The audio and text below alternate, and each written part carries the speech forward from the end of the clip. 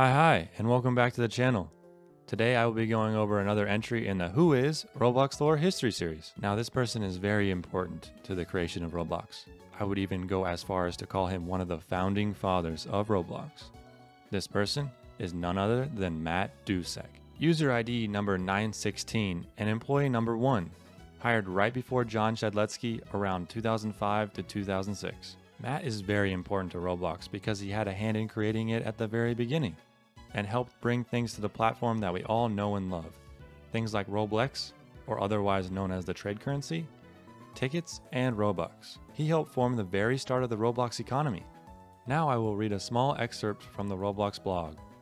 Nine years ago, Eric, John, Matt, and I designed the original Roblox economy.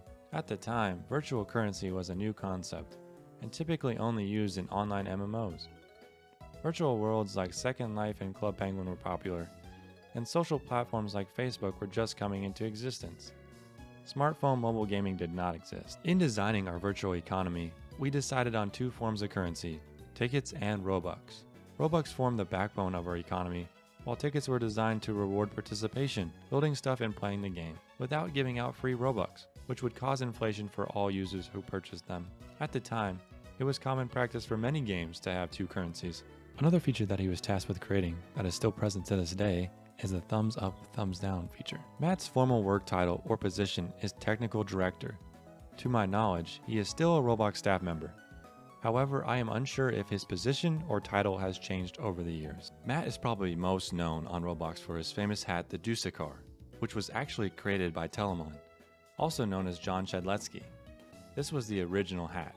There are a couple other recolors as well. A few things worth noting about the Dusekkar is that the flames on the hat are scripted to only allow for the flames to be visible in game if the person who's wearing the hat is Matt himself.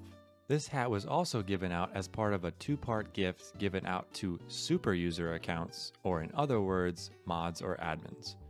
This glow and gold gift of super user gave out the red domino crown and another gift called the silver gift of surprise which was a bonus gift that also came out of the glowing gold gift of Super User, hence the two part gift. The description on the Dusekkar reads Destiny's powerful hand has made the bed of my future, and it's up to me to lie in it. I am destined to be a superhero, to right wrongs, and to pound two fisted justice into the hearts of evildoers everywhere. And you don't fight destiny. No, sir. And you don't eat crackers in the bed of your future, or you get all scratchy. This description is actually a quote from a cartoon comic superhero called The Tick. Can you see the resemblance between the hat and the character? In an interview with Reese McBlox, he was asked how he got Telamon to make him the Dusekkar, and his response was, Well, I didn't really get Telamon to make it for me. He's pretty much the physical manifestation of elemental caprice. He submits to no authority or compulsion save his own whimsy. That said, he did strike a bargain of sorts. I built the Roblox in exchange for it. Matt is also known for being one of the first and only users to have a space in his username. This was, and still is, very uncommon. He ended up making one pretty popular game back in the day called Balance, which was a simple base plate that required all players to work together to survive. If weight shifted on the base plate, everyone had to correct that shift to stay alive.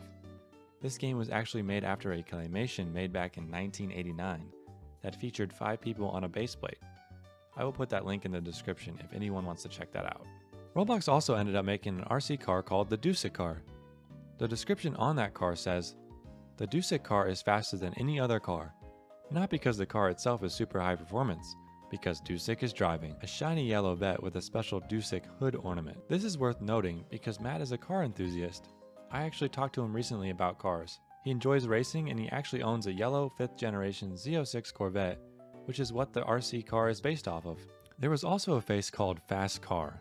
The description on it states, Dude, I think Matt Dusek just lapped you.